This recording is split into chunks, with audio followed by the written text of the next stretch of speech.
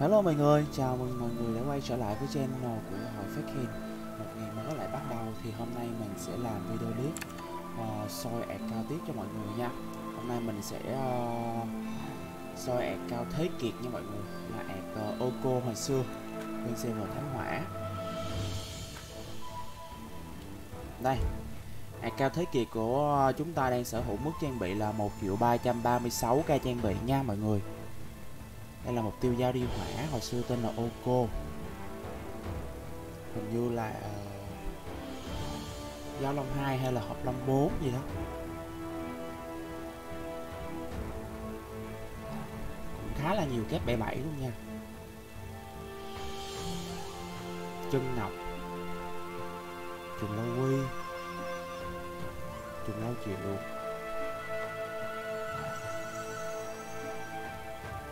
chùm lâu giới. Chùm lâu ngoa. Chùm lâu đới cố định. Chùm lâu thủ.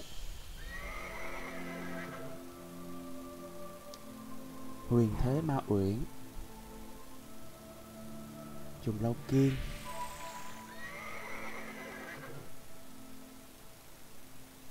Ngón tám sao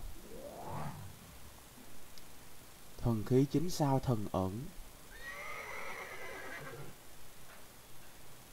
Chân giáp. Chùm lao liên cố định. Tám khí tám sao toàn mỹ một một chín sáu. Lâm văn chín sao. Lệnh bài tám sao ba dòng giới hạn sinh lực 10 k mốt.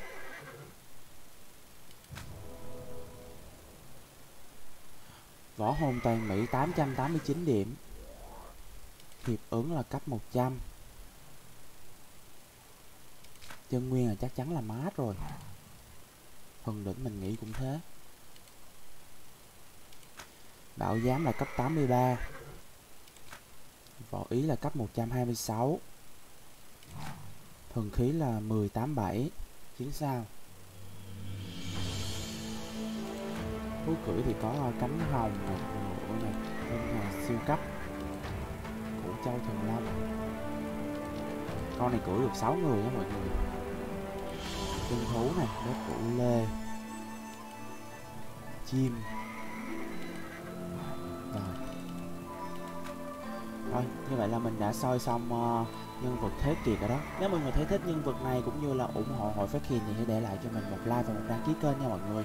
Thì mình bắt đầu trở lại làm clip mà soi uh, những cái ad bot cũng như những ad tầm trung tất cả các ad mà mình có thể soi được ở bên uh, Tân Thiên Long. Thì hy vọng mọi người uh, uh, ủng hộ mình quay lại nha. Cảm ơn mọi người rất nhiều nhớ lại like cho mình một like một đăng ký kênh đó. Bye bye mọi người và hẹn gặp lại mọi người trong video clip kế tiếp.